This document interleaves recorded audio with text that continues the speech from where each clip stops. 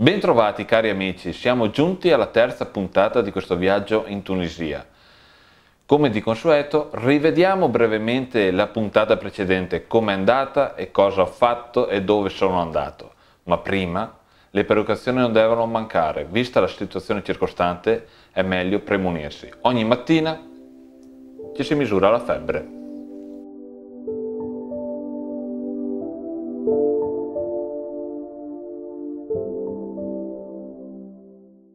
36 e 13. Sembra proprio che stia godendo di buona salute per ora, o almeno si spera. E quindi posso dire che possiamo vedere brevemente l'anticipazione della puntata precedente e poi viaggeremo verso Cairo One.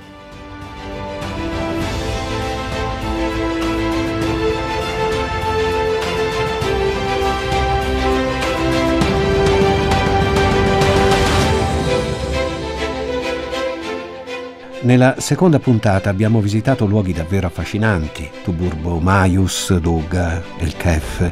Poi il viaggio, come detto, si è dovuto interrompere bruscamente per la pandemia. Cinque mesi di riposo forzato, ma ora si riprende. Ecco la terza puntata di World Panda Expedition, che ci porta a visitare Tak Rouna,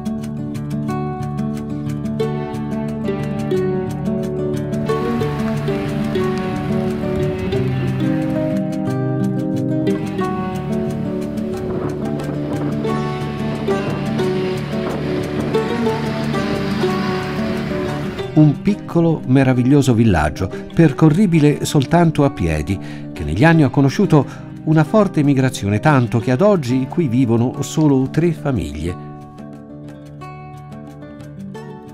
E qui facciamo un incontro davvero speciale.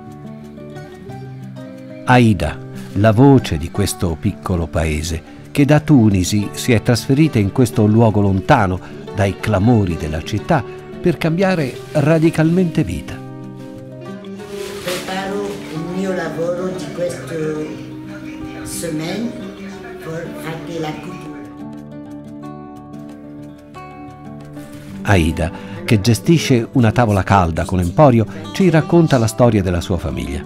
E, uh, la mia nonna è uh, medical anche medico. Mio, voilà, medico, anche Sua nonna era medico a Tunisi? Voilà, a Tunis.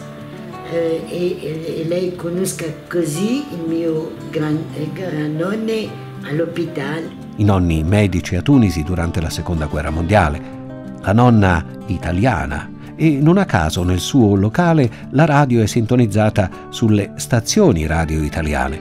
Dice Aida per imparare bene la lingua. La guerra è finita Aida inoltre si ingegna come può realizzando quadri, borse, souvenir che poi vende nel suo negozio. Allora, io ho fatto questo. Eh... A tutti i visitatori turisti apre poi le porte del suo personale museo dedicato alle arti e tradizioni del suo paese. E tra gli oggetti che vi sono esposti troviamo vari utensili per la lavorazione tessile, in particolare i tappeti. Di questo peraltro vedremo quando giungeremo a Cariouan.